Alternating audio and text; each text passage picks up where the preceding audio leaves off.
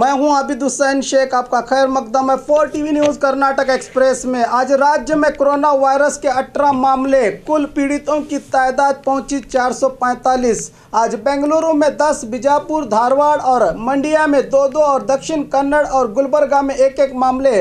Positive आए हैं। अब राज्य में कुल मामलों की तादाद 445 को पहुँची है। पिछले चार दिनों से बेंगलुरु में पॉजिटिव मामलों में कोई खास बढ़ोतरी नहीं हुई थी। आज 10 मामले पॉजिटिव आने से फिर चिंता बढ़ गई है।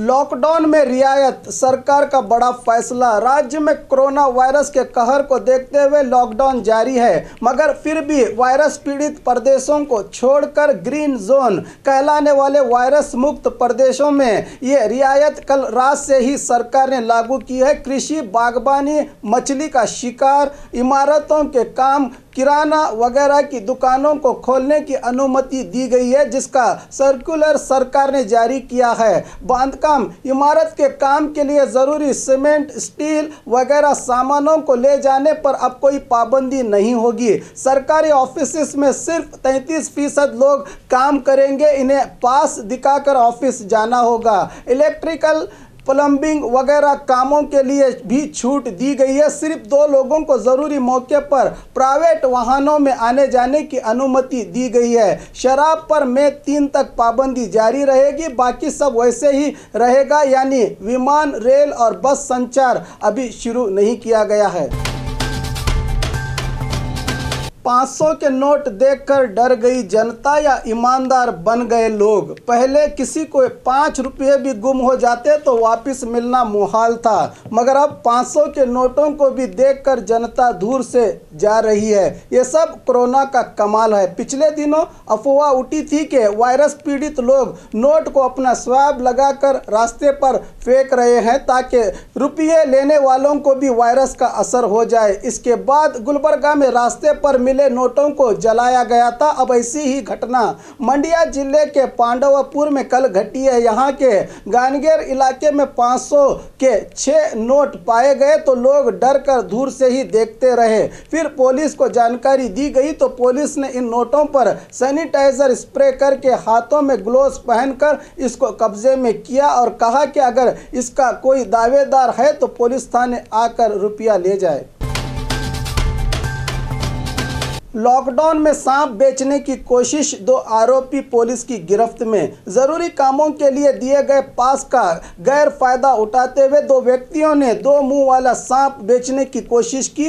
इन्हें सीसीबी पुलिस ने गिरफ़्तार कर लिया है। बताया जा रहा है कि बेंगलुरु मूल के रिजवान और अजहर खान ज़रूरी पास लेकर बाहर निकले थे। पास दिखाने के बाद भी पुलिस ने इनकी बैग की तलाशी ली तो बैग में सांप बरामद हुआ है। इन दोनों आरोपियों को सीसी सीसीबी पुलिस ने गिरफ़्तार कर लिया। बेंगलुरु के होंग संद्रा इलाका सीलडाउन पिछले चार दिनों से बेंगलुरु में कोरोना वायरस के ज़्यादा मामले सामने नहीं आए, जिसके कारण बीबीएमपी और दूसरे प्रशासनिक अधिकारी चैन की सांस ले रहे थे, मगर आज अचानक नौ लोगों की जाँच रिपोर्ट पॉजिटिव आने के बाद फिर आतंक बढ़ा है। कहा जा रहा है कि बेंगलुरु, होंग संद्रा, स्लम इलाका और विद्या ज्योति नगर में बांधकाम इमारत के काम के लिए करीब पचास से भी ज़्यादा कार्य कार्मिक बिहार से आए थे। इन्हीं में छप्पन साल एक कार्मिक पेशेंट नंबर 419 के संपर्क में आए।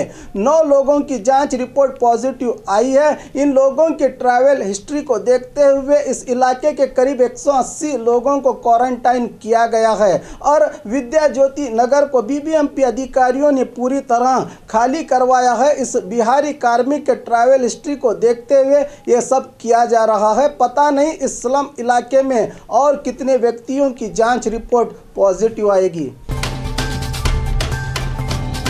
पहले पुलिस को गाली, फिर माफ़ी। देवस्थान के पास बैठे युवकों को उठाने के लिए जब पुलिस कांस्टेबल ने लाठी का सहारा लिया तो एक युवक के सर पर लाठी ने निशान छोड़ा तो युवकों ने पुलिस कांस्टेबल के साथ गाली गलौज किया। ये घटना आज बीदर जिला औरा तालुका के यांगुंडी ग्राम में घटी है। मामला और आगे बढ़ता के इतने में वहाँ पहुँचे डीवाईएसपी डॉक्टर देवराज और पीएसआई जगदीश नायक ने चिंतकी पुलिस थाने के कांस्टेबल गुरुलिंग को बचा लिया और कांस्टेबल से माफ़ी मांगने के लिए युवकों को मजबूर किया।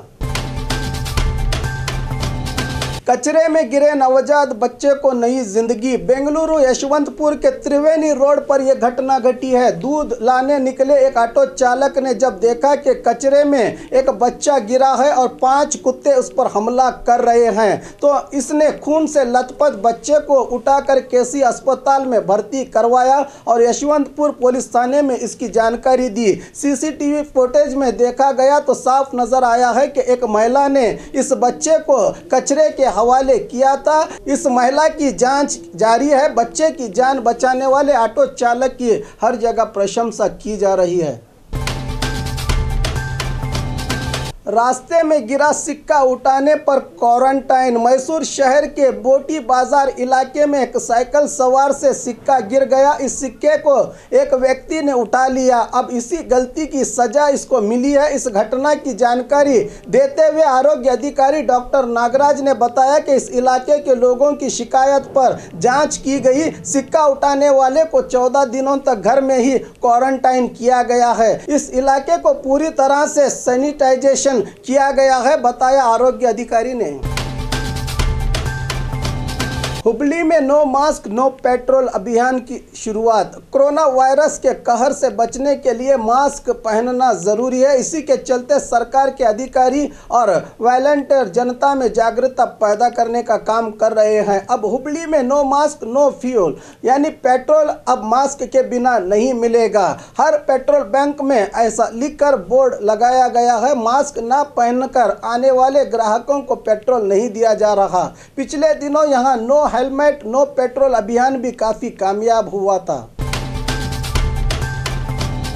बाइक सवार की गलती गुड्स वाहन पलटी। लॉकडाउन के चलते वाहनों के न चलने से रास्ते खामोश थे। मगर जैसे ही लॉकडाउन में रियायत की गई तो रास्ते चलने लगे। आज बेंगलुरु में ऐसा ही एक नज़ारा देखने को मिला। ओवरटेक कर रहे बाइक सवार को बचाते बचाते गुड्स वाहन पलटी होने की घटना बेंगलुरु के इलेक्ट्रॉनिक सिटी में घटी है। खैर है कि इस हादसे में गुड्स वाहन को छोड़कर किसी और को कुछ नहीं हुआ। इंटरनेशनल कुश्ती खिलाड़ी की सादगी भरी शादी।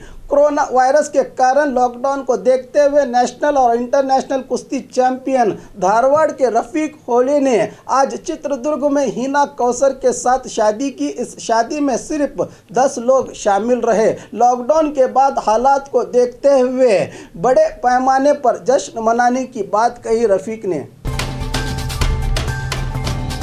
हज के लिए बचाए गए रुपयों से गरीबों की मदद। दक्षिण कन्नड़ जिला बंतवाड़ के बीसी रोड निवासी अब्दुल रहमान कूली का काम करते हैं। इनकी पत्नी घर में बीड़ियाँ बनाती है। कई सालों से इन दोनों ने मक्का के मुकद्दस सफ़र जाकर हज करने की तमन्ना की थी। मगर कोरोना वायरस से तकलीफ़ उठा रहे लोगों को जब देखा तो इनका इरादा बदल गया। इन्हीं रुपयों से ये अनाज खरीद कर गरीबों में बांट रहे हैं।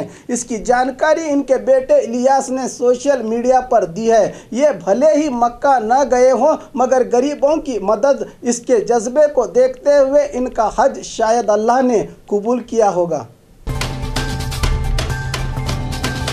भीड़ भरे इलाके में क्वारंटाइन केंद्र, स्थानीय निवासियों का आक्रोश। गदग जिला, मुंदरगी तालुका के भीड़ भरे इलाके में स्थित एस सी स्टूडेंट्स हॉस्टल को क्वारंटाइन केंद्र बनाने की तैयारी कर रहे हैं अधिकारी। इसी को देखते हुए यहाँ के निवासी कह रहे हैं कि यहाँ इस केंद्र को हम बनने नहीं देंगे। शहर के बीचों बीच वायरस शंकितों को लाकर रखना ठीक नहीं है। शहर के बाहर बहुत सी जगह है, वहाँ क्वारंटाइन क्वारंटाइन केंद्र खोलें, कह रही है स्थानीय निवासी।